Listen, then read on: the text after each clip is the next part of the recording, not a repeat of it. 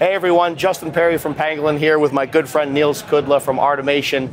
And uh, we wanted to give you a little behind the scenes look at a new technology called BeamBrush that we're going to be releasing at Pro Light and Sound in Frankfurt in 2020.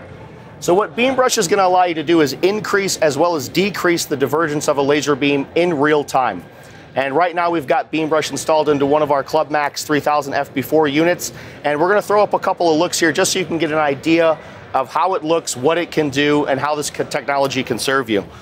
So as you can see here, beam brush, it's going to increase as well as decrease the divergence of the beam in real time. So you can almost paint with the laser.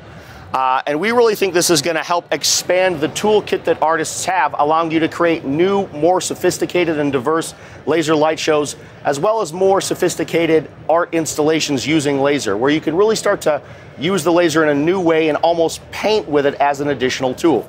And uh, Nils, obviously being one of the most creative guys in the industry, he's been playing with this the whole exhibition, and uh, I'll let him, I'll let him say a few things about it. Yeah, thank you for having me here, absolutely, uh, guys. Uh, yeah, I had the chance the last two days to play around uh, with it as much as I could, and yeah, what I have to say, I see it um, so much in my projects and galleries and art projects. Um, the looks that are possible now, they can go into a direction of, at the end, video content.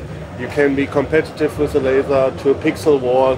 You can create totally different effects uh, by mixing what Pangolin uh, Beyond gives you anyway, effect engines with this BeamBrush technology. So I've tried out a few things here like standard forms, just zooming in and out, and this new zoom factor which we have to play a little bit, get a feeling what's possible. Um, I think uh, will show a lot of new interesting designs, uh, especially also with scrolling text, night outlines like handwritten uh, text uh, are possible. Um, yeah, I like it. Awesome.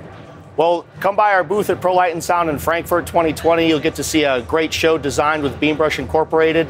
And if you guys have any other questions, you can email us info at pangolin.com or check us out online, www.pangolin.com. We'll see you next time, guys.